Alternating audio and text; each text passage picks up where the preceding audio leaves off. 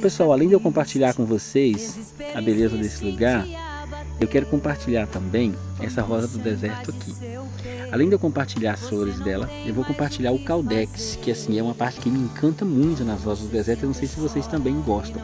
Eu vejo aqui nesse caldex um leão marinho, aqueles leão marinho que fica na máquina daquela coisa mole assim, não tem? Os bracinhos dele, os dois bracinhos, vocês estão vendo aqui, tá até cruzadinho. Aqui é aquela parte que geralmente eles ficam deitados, até aqui assim. E aqui a cabeça dele para cima aqui, olha pra você que incrível. E mais incrível ainda é que ela deu um outro galho aqui e cavou aqui, ó, fincou. E aqui são outros que estão deitados, filhotes, certamente, peçam deles. Eu vejo uma obra de arte, eu vejo uma cena aqui. Além de eu compartilhar esse caldex incrível, eu vou compartilhar essas flores aqui dela. Porque além, de, a, além desses botãozinhos que estão aqui, é a única rosa do deserto que está com flor de todas as minhas rosas do deserto. Olha pra vocês verem.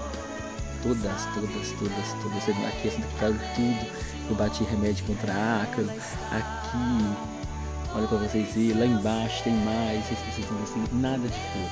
Mas ela, não sei se é a espécie dela, mas ela é uma cor branco. Vou mostrar bem de pertinho, ela é branca riscadinha de rosa, tá vendo? A florzinha é muito delicada. E ela tá com flor.